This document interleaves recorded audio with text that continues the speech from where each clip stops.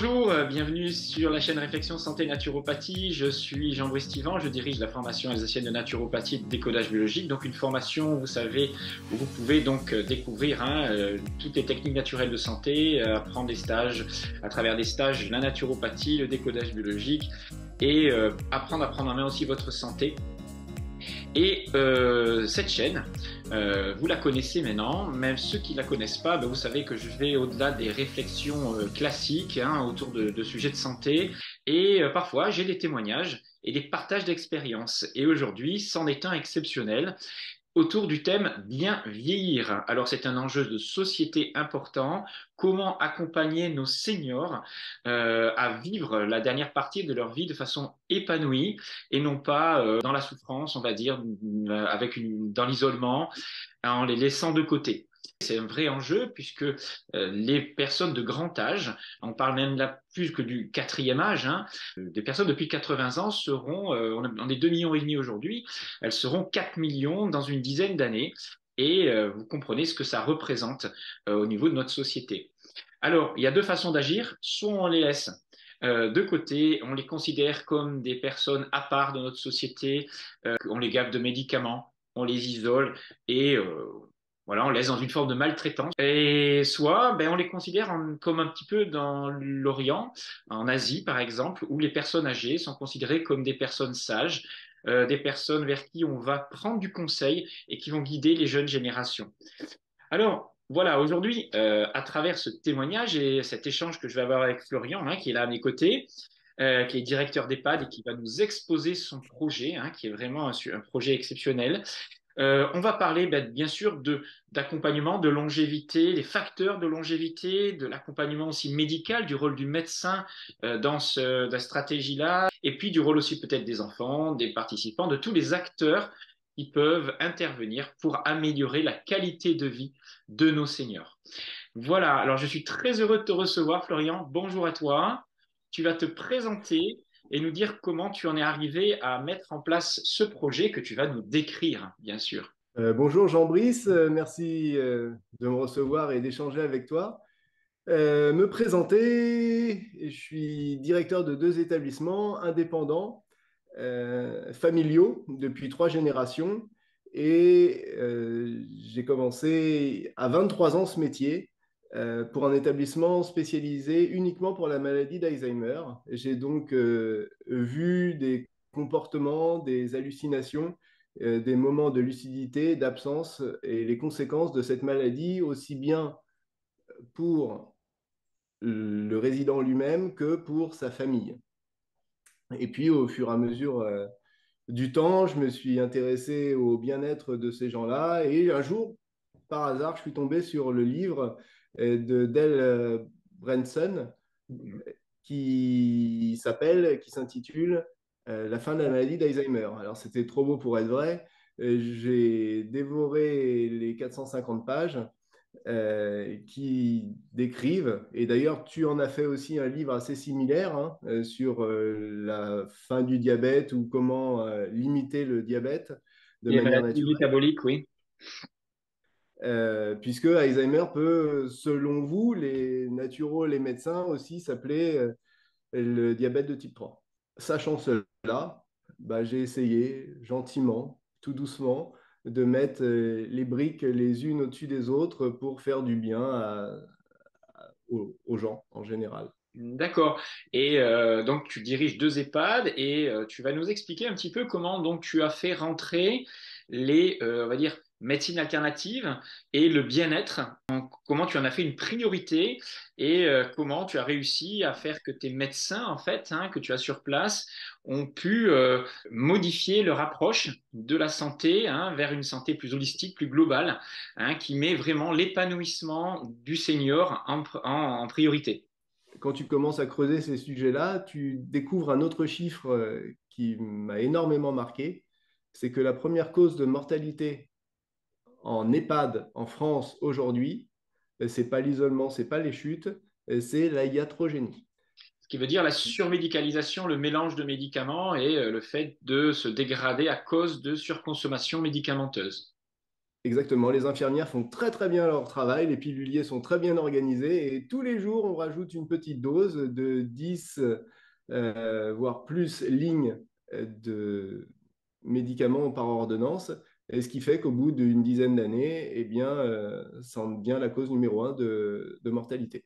Ce que j'ai essayé de développer sur euh, la maison, c'est la santé. Il me fallait donc un chef au-dessus qui gouverne toute cette partie euh, médicale en touchant au nombre de lignes des ordonnances, mais bien évidemment, il faut toujours accompagner l'habitant de la maison, le, grand seigneur, euh, pour les autres maux. Et donc chercher des médecines alternatives en dehors des médicaments et qui pourraient pallier les maux qu'il rencontre. Bah, déjà, il faut trouver des médecins qui sont intéressés par le projet. Et en fait, bah, ça intéresse beaucoup, c'est dans l'air du temps, j'ai trouvé beaucoup de monde, aussi bien des médecins, des infirmiers qui voulaient euh, partager ce projet. Et on a développé au sein de la maison en médecine alternative complémentaire 12 propositions. Si j'ai bien compris, euh, on a allégé les piluliers, on a diminué, euh, enlevé certains médicaments qui n'étaient pas nécessaires, absolument nécessaires selon le médecin. Et à côté de ça, pour euh, améliorer le bien-être et compenser peut-être aussi l'absence de médicaments, vous êtes investi sur 12 ateliers. Alors ces ateliers, qu'est-ce qu'ils sont? Alors voilà, l'idée, c'est bien un, propos modéré, hein. c'est qu'on garde les médicaments vitaux et que les médicaments qu'on peut substituer, et si on y arrive, eh bien, on, le fait. Les 12 qu'on propose euh, vont de classique psychologue, atelier mémoire, psychomotricité, réflexologie, kiné, euh, aide à la marche et, parcours dans le parc, sortie, animation adaptée, spectacle, puisqu'on a une salle de spectacle à l'intérieur des maisons de retraite. Il y a les huiles essentielles, euh, il y a la musicothérapie, écriture sous induction, euh, musicale. Ça permet réellement, et l'induction musicale me fait penser à ton introduction quand tu disais considérer la personne comme un sage eh bien, qu'elle raconte son vécu par les sensations émises de la musique, eh ben, là, on est complètement dedans. Pour que ça soit simple, parce que c'est très important de ne pas faire des usines à gaz, on a fait un cercle avec les 12 médecines proposées et on le propose à la première visite, soit à la famille, soit au résident s'il en a les capacités, et ils décrivent ce qu'il peut recevoir. Ou ça lui plairait d'essayer, euh, parce que quelquefois, le massage, le toucher ne correspond pas à la volonté de la personne. La famille fait ses choix, nous indique, on étudie le plan de soins euh, en équipe pluridisciplinaire et un mois après, on reçoit la famille et on refait un débrief en expliquant les choix, les orientations et en écoutant bien évidemment la famille puisque c'est eux qui connaissent le mieux la personne. Par rapport à ça, je voulais juste amener une, précision et euh, voilà quelque chose qui pourrait intéresser hein, les, personnes qui nous écoutent sur ce qu'on appelle les facteurs de santé ou les facteurs plutôt de longévité. J'avais fait donc une conférence autour de ça et je m'y suis intéressé depuis quelques années. Hein. Je me suis intéressé aussi à travers le livre hein, que j'ai écrit donc sur les maladies métaboliques puisqu'elles touchent aussi beaucoup de personnes âgées et on s'aperçoit que le facteur de longévité, c'est pas le fait euh, d'avoir tel et tel médicament, tel ou tel suivi médical, parce qu'on pense que dans nos sociétés, plus on est médicalisé, euh, meilleure sera la longévité. En fait, ce qui nous montre euh, les gens qui vivent vieux dans le monde, ce ne sont pas les plus médicalisés du tout. Ce ne sont pas non plus ceux qui ont des vaccins, ce ne sont pas non plus ceux qui forcément mangent mieux, même si c'est un facteur mais le facteur déterminant, c'est la vie sociale. C'est euh, le fait d'échanger ou pas, le fait de rencontrer des gens dans la journée, le fait de pouvoir discuter et de pouvoir, on va dire, limiter son stress à travers des échanges vivants. En fait, il y a ce côté d'humanisation qui est très, très important dans le bien vieillir. À côté de ça, bien sûr, il y a le mouvement, le contact à la nature, le toucher, euh, les escarres qu'on observe chez les personnes qu'on délaisse, hein, qu'on ne bouge plus. L'anagramme d'escar, c'est caresse. Et on oublie que toucher quelqu'un est quelque chose qui va le rassurer sur le plan émotionnel. on sécrète, on sait, euh, voilà, certaines hormones qui rassurent, hein, de l'ocytocine, et ça fait partie de la limitation des stress et de l'anxiété aussi de la personne âgée. C'est que ce que vous mettez en place, c'est une humanisation.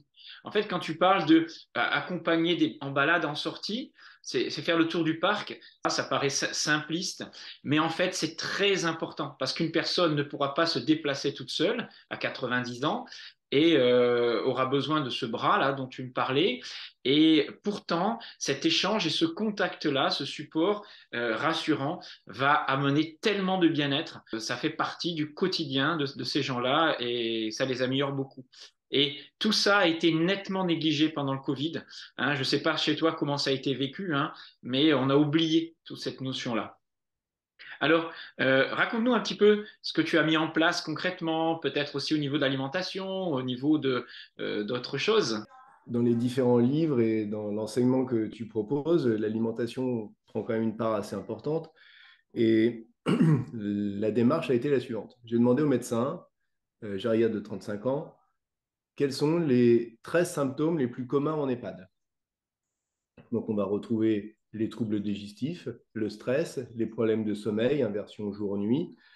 La digestion, les maladies métaboliques, c'est ça un l'hypertension, tout ça, enfin oui. Et de ces 13 symptômes, je suis allé voir un naturopathe pour établir des menus et je lui ai dit fais-moi des menus qui naturellement, tous les jours, tapent un petit peu sur ces symptômes-là de manière naturelle. Elle a établi les menus, je te les ai euh, communiqués pour validation. Et on a mis ces menus en place il y a maintenant deux mois, trois mois. Dans ces menus, qu'est-ce qui a changé réellement? Parce que tu n'as pas pu faire de gros changements, imposer euh, des régimes extrêmes, bien sûr, en EHPAD. Hein. Mais qu'est-ce que sur quoi tu as joué? Le but était toujours la modération et de garder deux plaisirs. Le plaisir ou le bien-être gustatif, avoir l'envie de manger, et le plaisir et bien-être du corps pour qu'on donne au corps euh, bah, ce qui est bon pour lui, pour qu'il fonctionne bien. Intéressant, oui. sur les grandes lignes, euh, ce que tu m'avais expliqué, ce que j'avais vu hein, sur tes menus, c'était que c'était un régime plutôt low carb, c'est-à-dire vous aviez diminué la quantité de sucre, hein, qui est un facteur de glycation, qui est un facteur, on va dire, d'oxydation dans le corps, qui augmente les états inflammatoires. Euh, donc, tu avais simplifié aussi euh, au niveau de digestion. Quand tu supprimes une part des féculents, tu le remplaces par des légumes, tu diminues un peu le gluten, que tu diminues euh, le sucre au dessert, des choses comme ça, même si on conserve des desserts sucrés, hein, j'ai vu. Et j'ai bien compris que c'est important pour une personne âgée d'avoir ce petit plaisir gustatif en fin de repas. Eh bien, tu as un allègement, on va dire, de la digestion, une meilleure qualité digestive et moins d'inflammation voilà, dans l'organisme. ça a été bien reçu. Oui, ça a été très bien reçu euh, parce qu'on a rajouté dans le plaisir gustatif un plaisir visuel et on a énormément travaillé la présentation de toutes les déclinaisons du repas, c'est-à-dire les normaux, les hachés et les mixés. Et la bonne nouvelle, au bout de quatre semaines, euh, puisqu'on pèse les résidents euh, tous les mois, c'est que contrairement à l'histoire habituelle et à la perte de poids due à l'âge, que tu pourras mieux expliquer que moi, euh, eh bien, on a eu une inversion de la courbe et on a eu un gain de poids euh, en moyenne euh, pour nos résidents en seulement quatre semaines. Donc, ce pari a vraiment été couronné de succès, ça nous a encouragés, ça a stimulé les équipes de cuisine, ça a encouragé tout le monde dans cette voie-là. Alors oui, il faut amener une petite précision. Effectivement, c'est que à partir d'un certain âge, ce qu'on veut éviter, hein, c'est la perte de poids, hein, qui est considérée une perte de masse musculaire, mais aussi de graisse qui donne de la force physique et donc qui maintiennent l'autonomie hein, du patient dans ses déplacements. Donc euh, effectivement, euh, il faut éviter cet amaigrissement en vieillissant et euh, en améliorant tes repas en faisant en sorte qu'il soit plus digeste et plus, on va dire, agréable à voir, hein, tu, as, tu as gagné ce pari. Euh, donc, il va falloir continuer dans cette voie, bien sûr. Tu m'avais parlé aussi, donc, bien sûr que sur le plan financier, ça a un impact parce que tu peux pas te contenter d'un repas standard euh, qu'on achète tout fait euh, à 4,50 euros. voilà, donc là, vous avez dû modifier un petit peu vos stratégies financières et les, résultats ont été voilà, à la hauteur. Mais qu'est-ce que ça a comme impact, ça, dans un EHPAD bah, ça a commencé tout simplement que le prestataire de cuisine, qui était très bien depuis 10 ans, je lui ai dit bah, on va prendre les légumes du champ d'à côté. Il m'a dit non, c'est pas possible. Donc je me suis retrouvé à gérer la cuisine euh, en 15 jours. Parce que le défi relevé, embauche les cuisiniers et compagnie. Mais pour respecter le régime qu'on souhaitait, les menus, eh bien, autant se donner toutes les chances et avoir des produits frais, locaux, euh, vraiment du champ d'à côté. Hein. c'est à 50 mètres. Et puis ça a fait même plaisir aux cuisiniers qui étaient en place parce qu'on retrouve le plaisir de cuisiner, de faire de la vraie cuisine. Euh, ça a intéressé tout le monde. C'est un projet qui, marche super bien. C'est génial. Alors, quel est le rôle pour toi maintenant du médecin?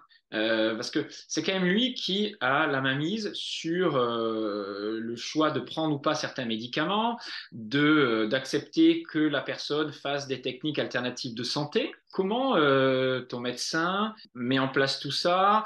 Qu'est-ce que ça a eu comme conséquence aussi dans la vie de l'EHPAD Voilà. Et au niveau financier, les retombées, les résultats, on va dire aussi sur la qualité de vie hein, de tes résidents de la même manière, on a mis toutes les chances de notre côté. C'est-à-dire que normalement, un EHPAD a 0,5 de équivalent temps plein de médecins.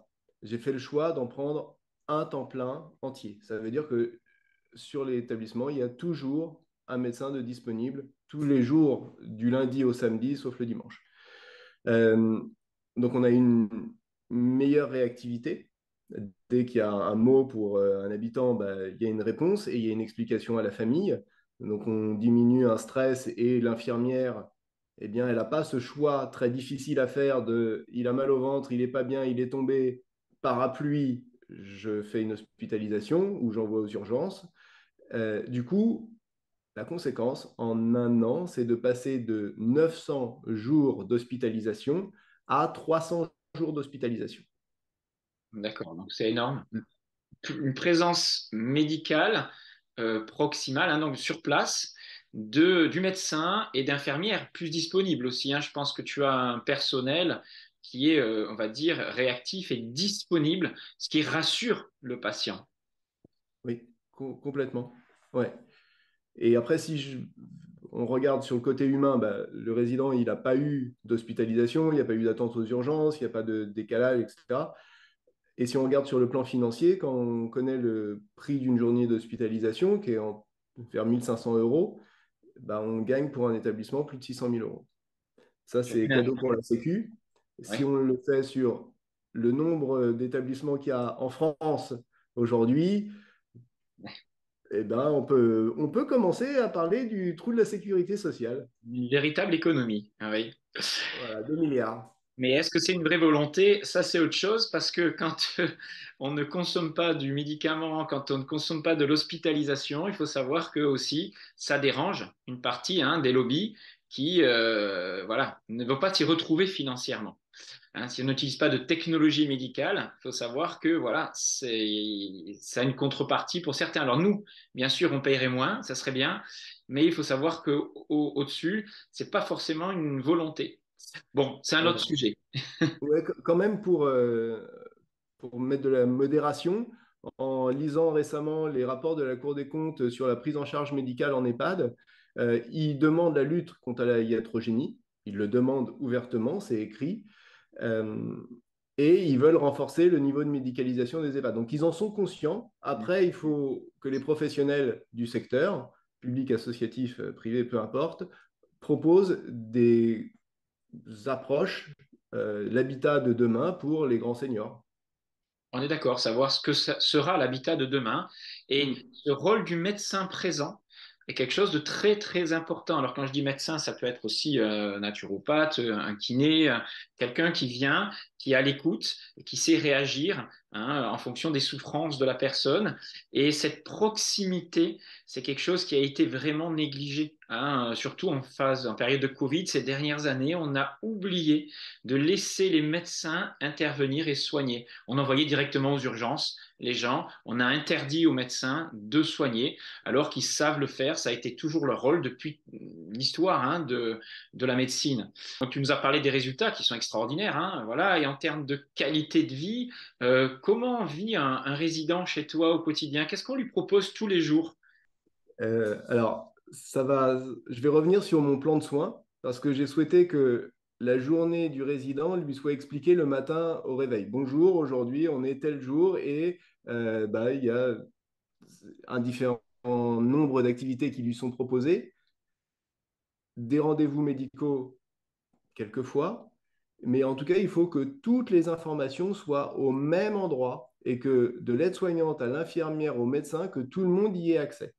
Donc, c'est extrêmement important parce que c'est le chef médical qui a sa vision holistique de, de l'habitant de la maison qui va définir et qui va prescrire aussi bien un médicament euh, qu'une séance de kiné, ça c'est habituel, mais qu'un massage, euh, que d'aller au spectacle, que de participer aux sorties, euh, que de faire de la marche dans le parc. Expliquer à l'habitant de la maison que ça fait partie de la manière de se soigner. Et donc, c'est prescrit. Même si ça ne nécessite pas de prescription, je l'entends bien. D'accord, on sort du médical pur hein, pour aller vers qualité de vie. Voilà. Exactement. Alors, c'est un petit peu le club med des personnes très âgées. ça donne envie hein, d'aller euh, dans ton centre euh, de vieillir là-bas. D'ailleurs, tu as, de la demande? Ça a évolué ta demande depuis euh, que tu as mis tout ça en place? Alors là, c'est des sujets en général qui sont un petit peu cachés, mais moi, je n'ai pas de problème avec ça. Aujourd'hui, il y a 10% des places d'EHPAD, de maisons de retraite, qui sont vides. Donc la population française, normalement, n'a pas de crainte à avoir pour trouver une place, euh, sauf chez moi. Hein.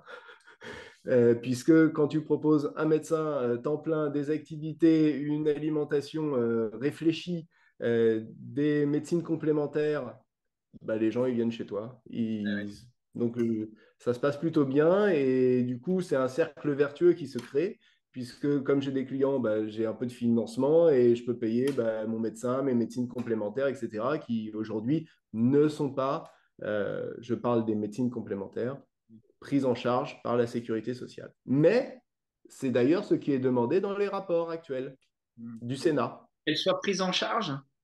Ouais. D'accord, qu'on commence à considérer qu'un massage, qu'un soin euh, manuel, qu'un exercice physique euh, soit considéré comme un, euh, une technique de santé à part entière. Oui. D'accord. Et on s'aperçoit que ça a des retombées.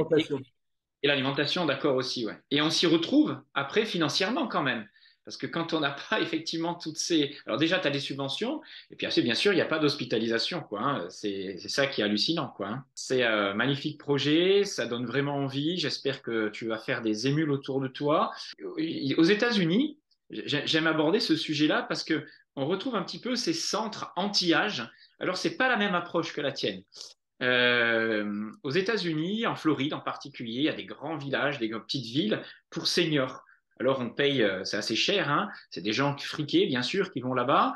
Et au centre de la ville, il y a ce qu'on appelle le centre anti-âge, où il y a les médecins. Mais là-bas, ce qu'on recherche, c'est ne pas vieillir. C'est-à-dire que, bien sûr, on fait tout pour la santé, mais eux, ils ont des injections d'hormones, ils prennent des compléments alimentaires à pas en finir en termes de vitamino, nutrithérapie, etc. Et euh, mais bon, ils s'injectent de l'hormone de croissance, de la testostérone, voilà. Mais à côté de ça, bien sûr, ils font de l'exercice physique, ils sont sous le soleil de Floride toute l'année, ils ont des, pratiques sociales, etc. Mais eux, ce qu'ils redoutent le, plus, c'est euh, le vieillissement. Je n'accepte pas de vieillir. Et c'est pour ça qu'ils trichent et qu'ils sont dans du dopage. Alors que ton approche, c'est faire de la vieillesse un moment simplement de vie, un moment d'épanouissement où la qualité de vie est mise en avant et on peut utiliser voilà aussi tout un panel d'activités, d'alternatives, hein, de, complémentaires, comme on dit, euh, qui améliorent les choses. Et ça, c'est génial. Alors juste une dernière chose, est-ce que euh, vous proposez, est-ce que ton médecin est formé euh, au Hum, compléments alimentaires. Euh, quels sont les compléments alimentaires de la vieillesse, etc. Est-ce qu'il a cette approche-là? Je vais répondre non. Et je vais répondre non pour beaucoup de médecines complémentaires. C'est-à-dire que pour toi, euh, qui, les étudie depuis 30 euh, ans, tu les connais très bien. Aujourd'hui, quand tu prends un médecin qui a eu une formation classique, il n'est pas formé à ça. Il sait que ça existe, mais il ne sait pas encore utiliser les outils. Donc, dans le projet euh, des maisons euh, grands seniors qui s'appellent T'es bien, eh bien, on rajoute le troisième volet qui est le théâtre de la vie. C'est-à-dire que sur cette scène de spectacle au sein de la maison, eh bien, elle va servir certes au divertissement, à la sociabilisation, comme tu disais, mais elle va servir aussi à la formation. C'est-à-dire qu'il faut des personnes qui forment nos médecins, qui forment nos professionnels à ces médecines complémentaires. Et aussi la population locale. C'est-à-dire qu'on invite les mairies, les habitants de la ville à avoir de l'information. Et donc, voilà, on, porte entre guillemets la bonne parole, c'est pas obligatoire, mais ça permet aussi d'ouvrir l'établissement sur l'extérieur de manière naturelle. Comme d'ailleurs notre médecin, eh bien, il euh, va pouvoir soigner les habitants locaux. Il y a le, fameux problème des déserts médicaux. Bah, si on arrive à trouver un médecin par l'intérêt du projet au sein d'une maison de retraite, autant qu'il serve au maximum de personnes. C'est-à-dire que les gens viennent de l'extérieur, de la ville extérieure, hein, se faire soigner comme dans un cabinet normalement. Voilà. Et ils vont dans de santé en France.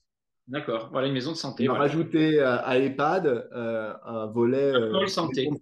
Voilà, d'accord. Donc ça fait vivre aussi l'EHPAD, hein, les gens voient du monde, euh, il y a des échanges sociaux et, c'est génial, quoi. C'est exactement ce qu'il faut, quoi. Ouais, on a le même principe pour l'alimentation, c'est que toute la réflexion qui a été faite, eh bien, on en propose du portage de repas ou un petit restaurant à l'intérieur. Ah d'accord. Et les gens peuvent venir de l'extérieur manger chez vous. Ah oui. En plus, on y mange bien, hein, du bio et du local. Super. Eh ben, c'est magnifique. Bravo. Hein. Euh, Florian, félicitations. Je te remercie pour euh, cette interview et euh, j'espère que on va pouvoir te contacter, que ça va inspirer certains EHPAD ou certains médecins qui seraient partants pour des projets de la sorte. Où est-ce qu'on peut te trouver? Comment on peut te contacter? Alors, très facile. L'établissement de référence s'appelle La Mélodière à Coubert dans le 77.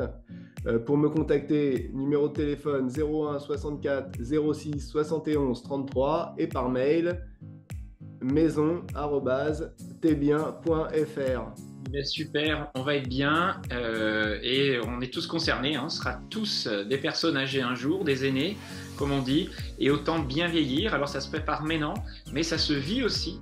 Hein, euh, dans le futur pour nous. On espère que des centres comme ça vont se développer pour euh, faire de l'épanouissement euh, d'une personne vieillissante une priorité dans notre société, ce qui n'est encore pas le cas du tout, du tout. Hein. Et une société qui délaisse ses anciens, comme on dit, c'est une société qui évolue mal. Merci pour ton message. À très bientôt. Merci à toi. Je vous laisse, je vous dis au revoir aux auditeurs et euh, n'hésitez pas si vous avez des questions, des commentaires à mettre en place. Et euh, nous, on se retrouve pour une prochaine vidéo. À très bientôt.